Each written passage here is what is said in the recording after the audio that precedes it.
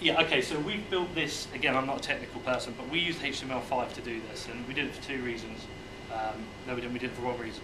Um, we, a lot of football fans are actually on Android phones, uh, uh, so most tech people just go straight for iPhone because it's cool, just, just the thing to do, but a lot of football fans are actually on Android.